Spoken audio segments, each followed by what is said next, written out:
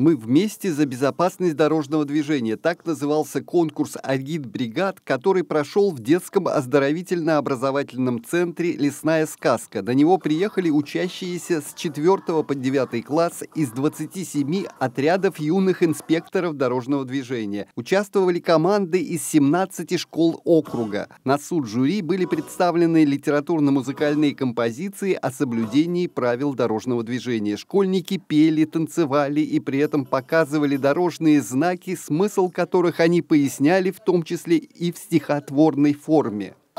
Знак, таких немного, это главная дорога. Если едешь ты по ней, всех становишься главней. Школьники, которые участвуют в таких конкурсах, становятся убежденными сторонниками четкого и неукоснительного соблюдения правил безопасности на дорогах. Ну, безусловно, это соблюдение правил. И когда ты думаешь, э, конечно, не только о себе, а и о других, э, когда ты заботишься о них, ну, смотришь, как они тоже выполняют правила.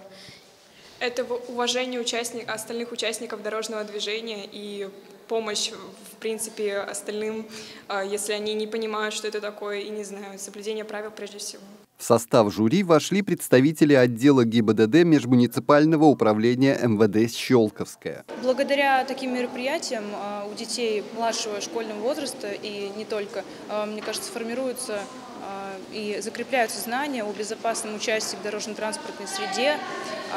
У них есть соревновательный момент, который дает им возможность испытать конкуренцию. Участники проекта осветили основные правила дорожного движения, правила перехода проезжей части, основные опасные моменты на дороге разбирают, также использование светоотражающих элементов и использование ремней безопасности. Этот конкурс ежегодный. На этот раз в нем приняли участие более 350 школьников. Команда юных инспекторов дорожного движения, которая будет признана лучшей, поедет от городского округа Щелково на областной конкурс «Агитбригад». Андрей Цеханович, Сергей Максимов, Щелковское телевидение.